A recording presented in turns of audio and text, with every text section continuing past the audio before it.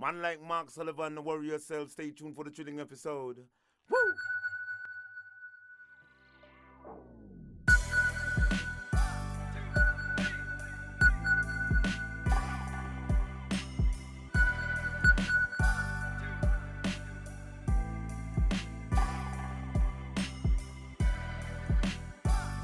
A positive mental attitude can clear away all obstacles which stand between you and your major purpose in life. This is the Snowboard Project featuring Mark Sullivan and the Bead. The Snowboard Project. The, Snowboard Project. The Snowboard Project.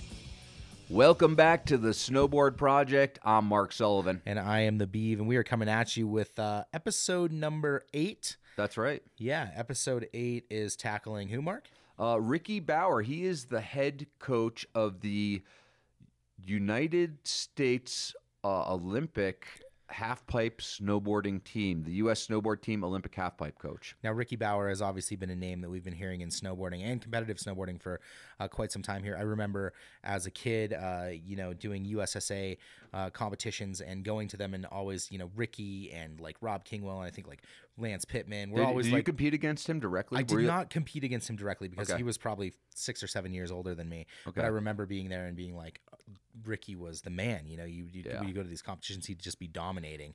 Um, Yep. and uh, so I guess this is, our, you know, we're tackling basically making the transition from athlete to coach. Coach. Yeah, one of the best coaches in the world, Right, honestly. right. And I mean, check out like how many like Olympic medals like his his athletes have won uh, underneath his coaching. And so yeah, we're gonna we're gonna follow that journey from basically being an athlete, chasing that dream, to chasing Mm-hmm. a new dream, which is like okay, so he didn't go to the Olympics as an athlete, so he ended up going as a coach. Awesome. Well, this is, and we are we are doing a three part series this week because we're tackling a few different a few different things in Ricky's life. Obviously that, and then episode number nine, which is our second part, which is we'll tackle parenting. Yeah. Which, as we all know, as a coach, is half the challenge of coaching the kids, which is also coaching the parents. Yep, and then and then part number three is going to be um, progression, learning new tricks, knowing when to chuck your meat, how to visualize all that stuff. It's really interesting actually, and I learned a lot um, in both parts two and three. And I kind of knew Ricky already, so I kind of knew some of that story. But it,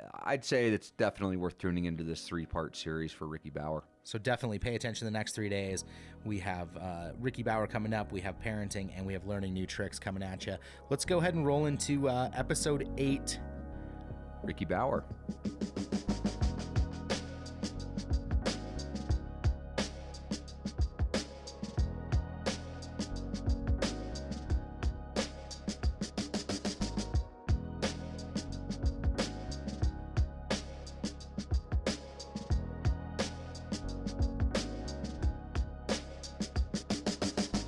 Forget to support advertising free snowboarding media at patreon.com. The Snowboard Project. The Snowboard Project. The Snowboard Project.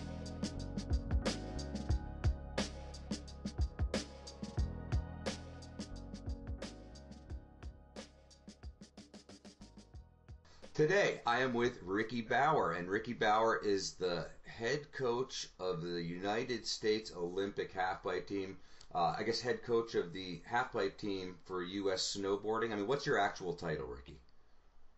Yeah, it would be uh, head coach for the U.S. snowboard team. Head coach For for, the U.S. for halfpipe. Okay. For, yeah. Now, how do you get into being a halfpipe coach? I, I know the answer, maybe. So I, you know, but uh, yeah.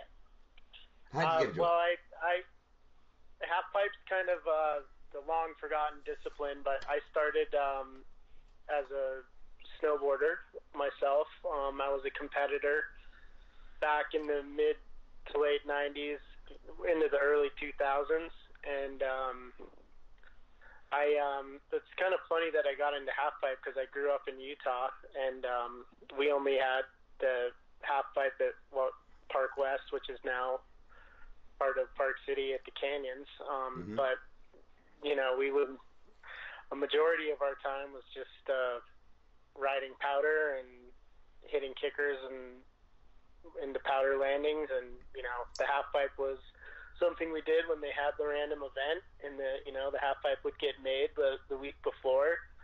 by you know all the guys from Salty Peaks and Milo Sport team coming up and and you know hand shaping it. You know Jeff Davis and you know I grew up with the Leineses, so Tor, Bjorn, and Eric Leines's older brother, and those three would always come up and you know it was uh, it was a smaller knit community and you know and it got all the the kids that were really stoked on shredding and learning tricks to come over to one area and, and ride the half pipe. And so I guess that's why it was appealing to me, just because it brought all the rippers in the whole state together for one thing, and it was super cool. So that's kind of how I got started in competing.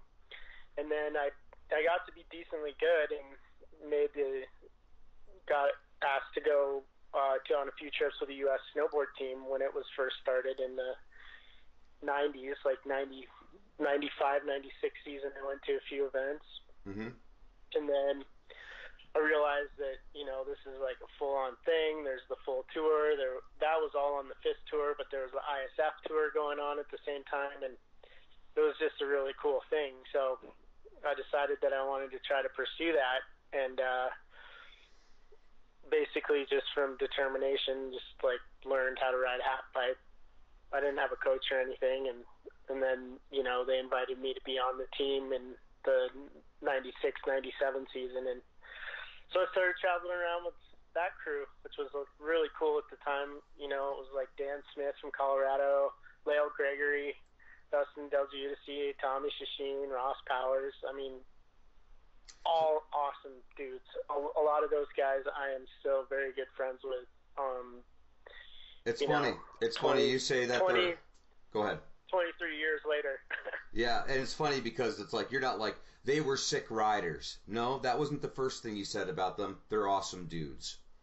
You know what yeah, I mean? they are gr- great people. I mean, I I value every single one of those people as as just awesome humans and just people that I want to stay in touch with and and still talk to in my 40s. I mean, So, what do you think You know? about like uh, snowboarding? Maybe made them into cool people because it seems like all the people I I have that same experience where it's like, God, all these people, a lot of people. I can't say all of them because I know some bad people too in snowboarding. I just don't associate with them anymore. But uh, or I've met them anyway. But like, what do you think about snowboarding? Um, makes these people into like good people or like people who are I don't know. I mean, what what do you think that, about I- snowboarding? I feel like uh, our the general uh, idea about snowboarding attracts cool people or people that we think are cool because they, um, you know, it's more like people that are playful. You know, they, it's not like a traditional way of going down the mountain on skis. You know, get from point A to point B, and um, you know, snowboarding revolutionized skiing as much as anyone be, would be loath to say it, but like all the free skiing and stuff, that wouldn't, you know, those guys would have never came along if it wasn't for snowboarding. Um, if those guys would, you know, freestyle skiing would still be what it is. It'd be aerials and moguls, and you'd probably have extreme skiers like the Scott Schmidt era. But snowboarding came along and opened up a whole new avenue or way to look at the mountain. And you know, I feel like those people are people that I relate with, um, people that choose to ride, you know, the mountain and, and play around and uh, look at the mountain differently and, and look at every little feature on the mountain as something they can shred. And and just that overall uh, creativity, the overall um, playful nature, the the realization that it's uh, something that you're doing for fun and really embracing that, I guess, is what makes them cool people. And and then people like Ross and, and Lael and all those guys that that really pushed the sport to the next level. They really enjoyed it so much that they were trying to do all these amazing things at such a young age, and you know that that motivation to get better and that that stoke is you know why they're awesome people because they're still the same way as older gentlemen. Yeah.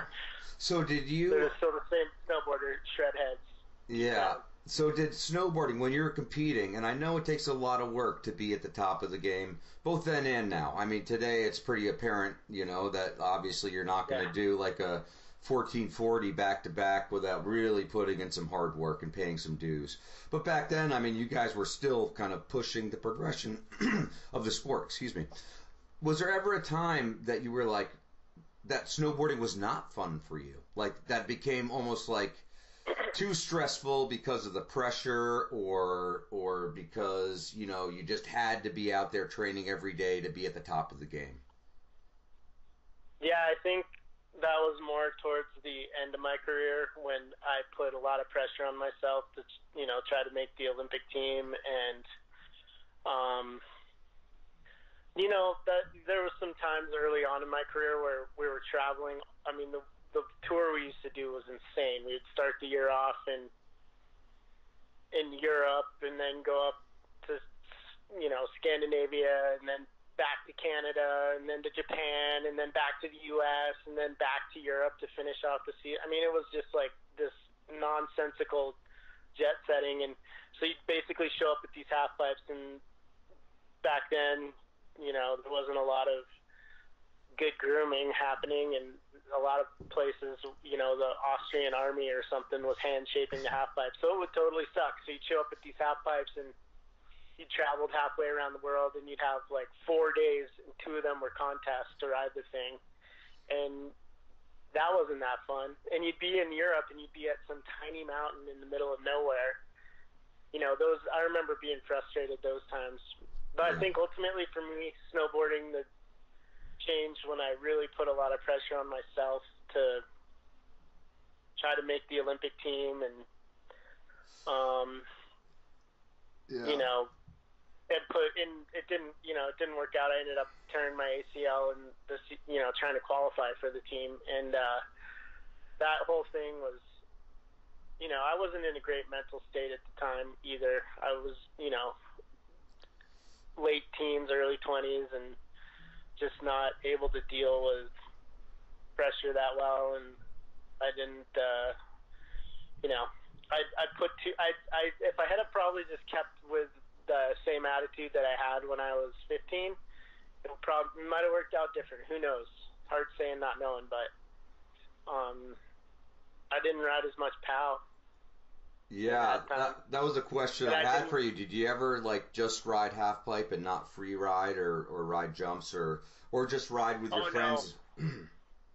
I always, I always, I always free rode, and I would always try to ride with my friends as much as possible. I had, you know, like before I got on the tour, I had, you know, passes at Snowbird and Brighton, and a super fun group of guys that I rode with and girls, and you know that that was like the heyday of my progression was mm-hmm. that when I had that scene at home going on, and um, you know the the love of the sport and just like how it translates into your ability to ride half pipe and, and free riding especially is probably the best thing anyone could ever do for riding half pipe. Mm-hmm. I mean, you have to be able to go fast and you know what? As smooth as those half pipes look, there's always bumps and inconsistencies and weirdness in them, and, and you need to, especially now, you need to go so fast. So like being able to ride with speed through chunder and bumps and whatever may come your way and, and charge is, you know, that was always the funnest thing to me. I mean, still to this day, one of my favorite movies is uh, Critical Condition. You know, Shawn yeah. Farmer, Nick Perata, and those guys just descending and going full speed everywhere. Like that's the type of stuff I like to watch. Like watch when I watch snowboarding. Um, yeah. And the riding I used to try to emulate when I was younger. Those movies are few and far between these days. They are. uh, anyway, how, so how did you take like that failure of not making the Olympic team? Actually, let's not call it failure. Let's call it disappointment right? Because I don't think it was a yeah. failure. You were an amazing rider. You had, I mean, honestly, I always had respect for your riding when you were competing. But let, let's say, how did you take that disappointment and then and translate that into becoming like one of the, arguably one of the best coaches in the world?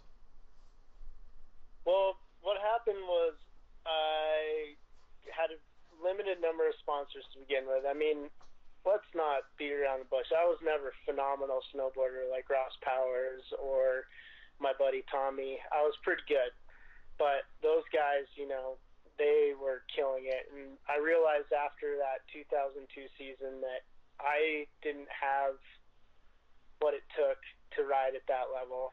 You know, I I came close and I couldn't make myself um you know, step up and do the 1080s the way those guys could and you know, it was just too much for me and I so I I got dropped by my sponsors at the time and uh, you know I was riding for European Ski Company um, and, Uh, did, did they have know, a name? Everyone was trying to get everyone was trying to get into snowboarding. I was Right. riding for Völkl at the time, Okay. and um, I was on their pro team. And then you know after I was injured and after I didn't have the results and stuff, I got dropped. And so, um, and I had a clothing deal with Xnix too, which is the snowboard line of Phenix, the freaking mogul company. So I was, I mean, I, you know, I was kind of like, I took whatever I could get to make it happen, and it wasn't, it definitely wasn't the brands I would have chosen to road for, but that's what I ended up with.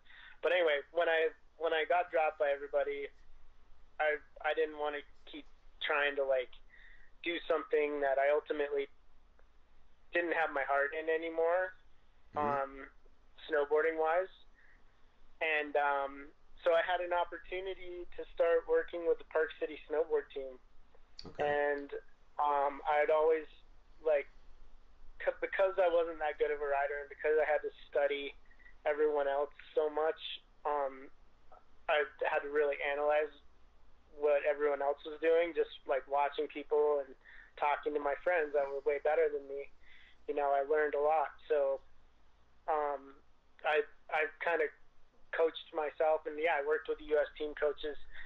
Uh, Pete Del Giudice and Heath Van Aken at the time, and they were great. They taught me a lot of things. Um, but I, I, I felt like uh, coaching was something that kind of came naturally to me um, because of how hard I had to study the sport to get to where I ultimately got.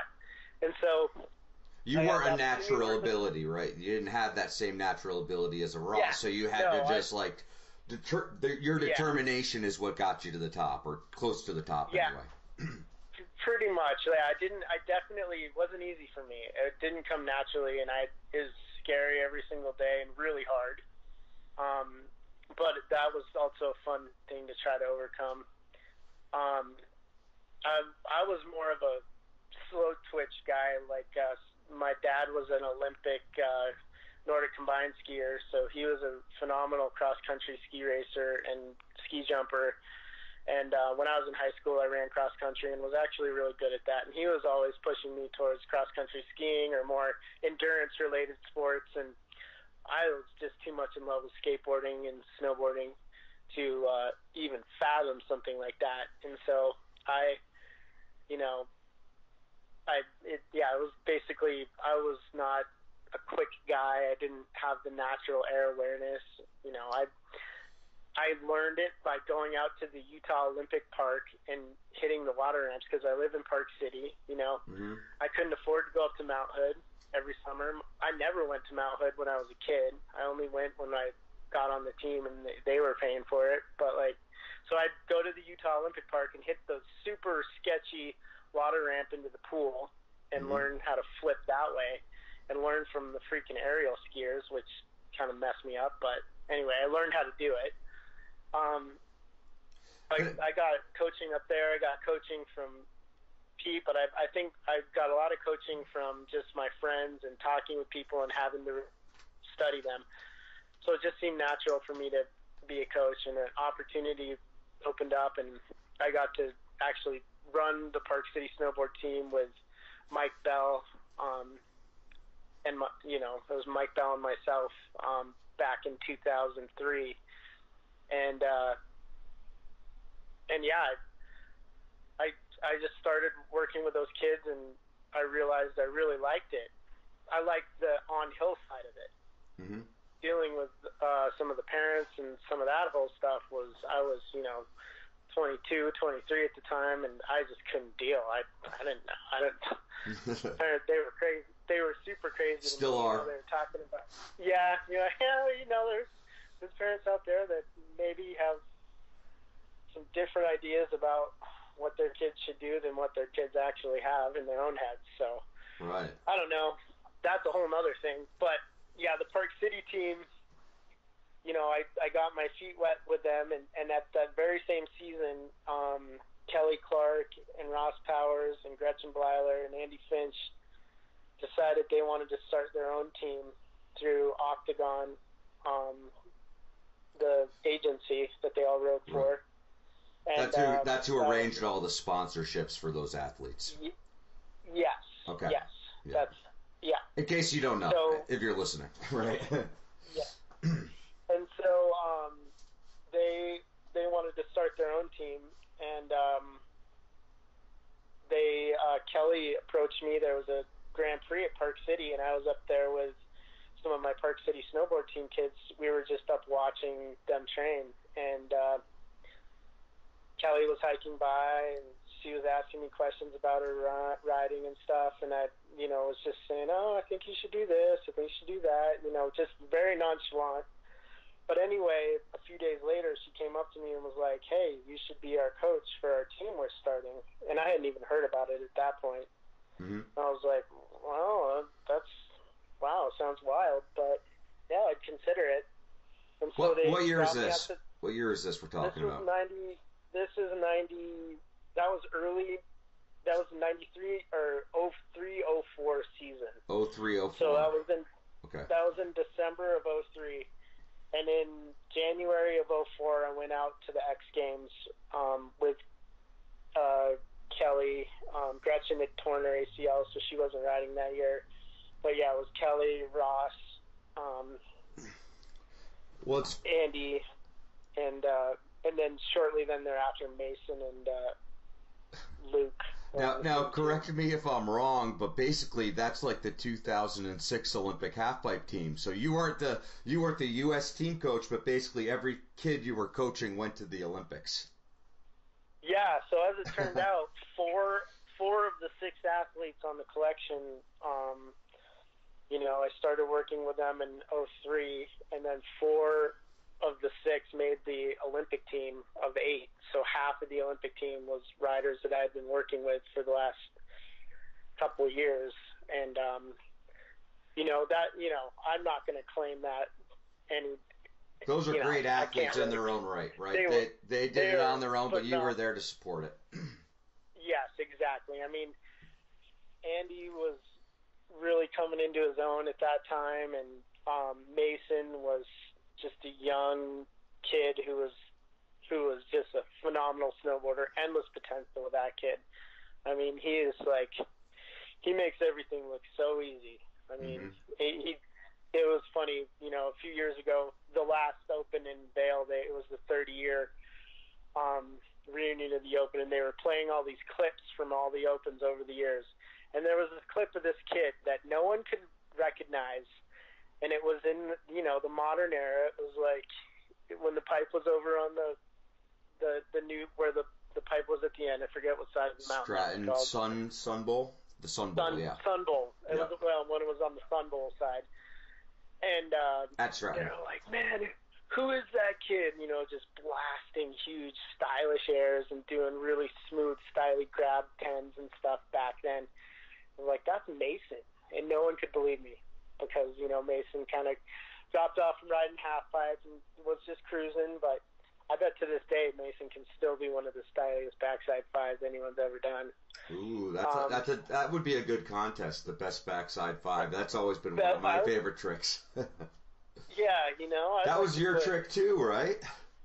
I had a good back five. I back, I had a good back five, and it morphed into the Michalchuk over years, and so Yep. I did Michalchuk and the back five and Yeah. That's back funny. sevens and some some real crappy back nines. But um, Okay, so But then yeah, when did you go from the collection to like being an actual U.S. team coach? When did that happen? so that happened after the 2006 Olympics, and so I got to go to the Olympics with the collection, the athletes that qualified, and you know, they half of the team was athletes that I'd worked with for you know, the three years up to the Olympics. So they were like, yeah, we got to bring Rick. Mhm. And Bud was thinking he didn't want to do it anymore and looking to do something else. And so he had announced that he was going to be leaving after that season. And so they started hitting me up that year to, to switch over to the U.S. team. And at the same time, I was noticing with the collection that it wasn't. Um, they had this idea of how it was supposed to work. You know, it was supposed to be the athletes coming up with the plan for what they want to do, and you know, by the athletes for the athletes, which is a great concept. But the problem is the athletes don't want to do all that planning. Right. And so a lot of that was falling on me, and which I was fine with, you know, because I had a good rapport with them, and I would try to, you know, really find out what they really wanted to do and make it happen. But the the main side of it was the on the sponsor front, you know, there was no consistency, um, and it didn't seem like the model was sustainable long term hmm and there was no plan for bringing in new people or a grassroots program, a, a rookie team, a development team, any of that stuff, you know.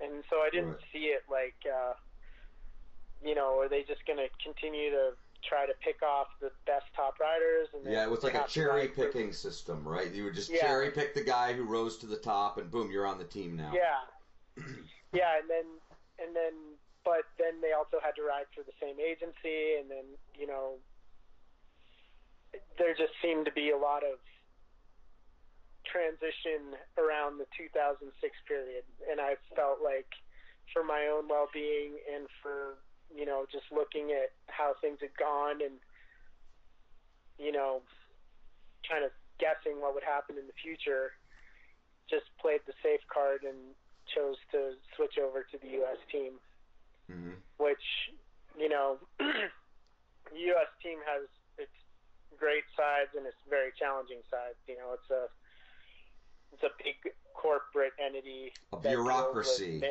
yeah, it's a bureaucracy, as any are, and Yeah. um, we have a very, very cool um, group that works in the snowboard uh, side, and so all the people that I've worked with are, you know, like Peter Foley. I was seriously considering not switching over, but Peter Foley, who's been the head coach of the U.S. team since it started, he's been with the team for um, what, like since '94. So Yeah. what's that, 28 years or 24 years? Yeah, 24. at. Yeah. of 24 years. So he's, you know, he he. I have a ton of respect for him, and he was like, "You really should coach for us. I think you'd be really good at it." And and you know, just having his support um, meant a lot. And so I I chose to uh, switch over to the U.S. team, and you know, it was uh, it's been it's been a crazy ride since then, but it's uh yeah since that 2006 team i've been with the us team in that half pipe coach role Cool. So, so since 2006, you've been the head half pipe coach.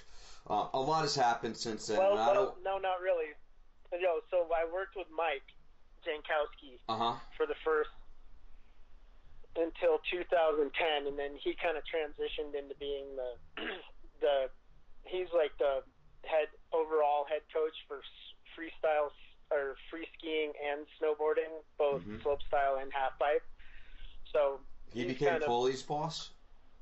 no he's not he's not foley's boss it's kind of confusing foley's foley's the head the head head guy but Okay. mike kind of handles the um the other side and foley deals with a lot of the stuff with the fis and um he knows the olympics better than anyone. He's the He's politician. he yes he's and he's really good at um making you know having the athlete's best interest in mind and making decisions for the whole team based on what's going to be best for the most amount of athletes. And and i mean so yeah so basically after 2010 i became the the head coach of the half pipe team and then okay. Okay. um, So so let's talk about this. Like you have had so many wins. I mean, I've got half the wins at least in half pipe riding have been under your coaching, right? In the last since since you became I don't know since 2010, let's say, right? And um, what are some of the highlights, the things that like stick out of your mind, either that you were really proud of the athlete or like those highlight moments in your coaching career where you you've shared that accomplishment with your athletes or were just stoked on an athlete? Well, hands down, number one is Shaun White at this last Olympics. Hands down. That was the most ridiculous thing I've ever seen anybody do anywhere. Yeah. I mean, I would I would actually go beyond saying that he's the best half pipe rider of all time. I would actually say that he's one of the greatest athletes of all time. Like I would put that performance on like a level of almost like a Jordan or something else to overcome those mental yeah. uh, like obstacles, right? That that to yeah. be like like transcended yeah. snowboarding, you know?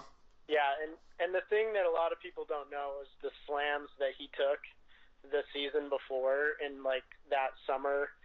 I mean, most people would have never gotten up and continued to try to push it like he did, and he.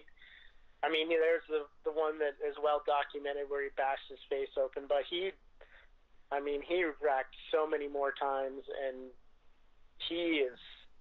Yeah, you don't get mental, stitches every time, you know. no, no, his mental um, strength and his desire to be the best is ridiculous. I mean, it's really yeah. amazing to me, and he's 31 years old when he did that. And I mean, I've known Shaun. I used to compete with him. He's been competing for a long time, and he's you know he's gotten a bad rap you know occasionally because of you know he keeps to himself. But I think for him, he's just he's just kind of a he's actually a quiet dude who's been forced into the spotlight and has to engage with people and I think naturally he just doesn't really want to do that so he has to like force himself to go out and talk to people and stuff. And but he, that performance was hands down one of the most amazing things to be a part of. And and granted, JJ is his main coach, and but you know, it was really cool to have a good rapport with him and JJ going into the Olympics and you know they came to our camp that we had in Copper and that was where he did the first cab 14 that he did since he mm-hmm. had that horrible wreck in New Zealand, and you know just help you know being there to help those guys out, support them, um, give them advice when and where he needed it, um, and him being open to it, and just watching him being able to step up and, and do that run in a do or die moment was I mean, one yeah. of the coolest things I've ever been a part of. In snowboarding um, for me too, competition wise. Yeah. Second, secondly, close behind that would be Scotty Lago at the 2010 Olympics, though, because that when he got the bronze medal, like he he had had he'd been struggling the year before, and even that season, he would win qualifiers and then crash in the finals, and he really just um, had a good game plan that day, and he was trying to do this front nine with his nose like front nine nose like he does, but the place that he was doing it in the pipe, he was just popping him super bad, and you know he's got like Shaun, one of the best front fives of all time in the half pipe. And so, you know, right before his last run, I was like, dude, just don't do the nine, like do the five. And that kind of blew his mind for a second.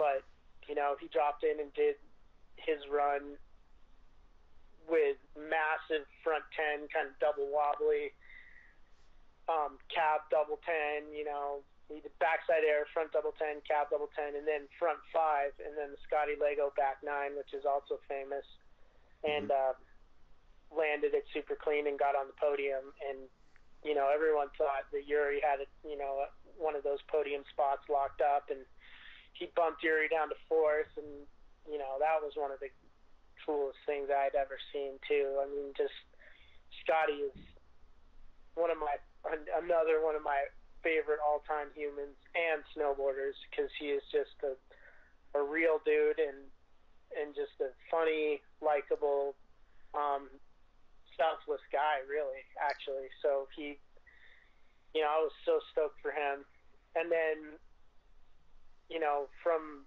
the the other great Olympic moment would be um, obviously Chloe Kim winning this year under immense pressure. Uh, you know, Mhm. everyone was expecting her to win, and she was 18 at the time. Mm-hmm. Ton of pressure. Uh, Yeah, I mean, talk talk about that briefly. I mean, she's a Korean American. Her father is from Korea, Yeah. and then you go to Korea, and it's like all the all the Korean people want you to win, kind of. All the Americans want you to win, and all the Yeah. sponsors definitely want you to win.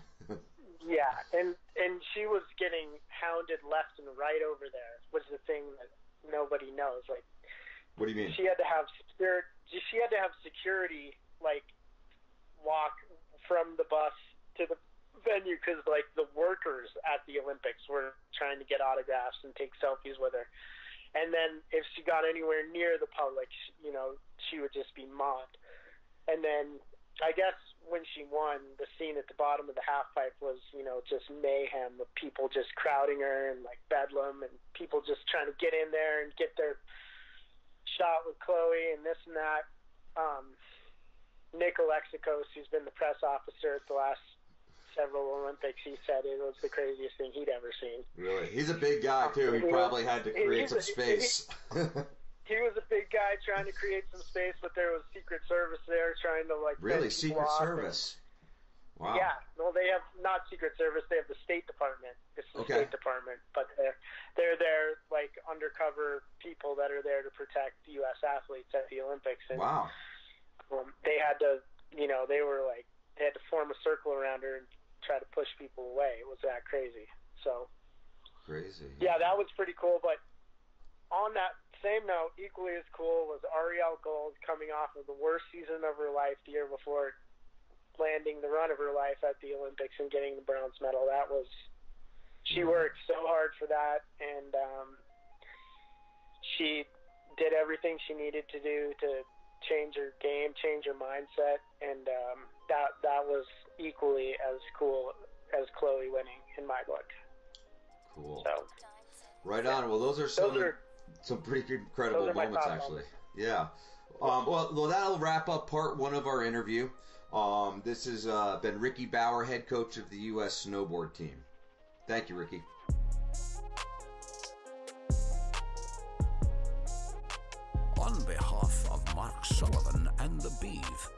For listening to the Snowboard Project. Remember, ride fast, take chances, dream big, and take action. And for God's sake, don't be a pussy. Don't forget to support advertising free snowboarding media at patreon.com. The Snowboard Project. The Snowboard Project. The Snowboard Project.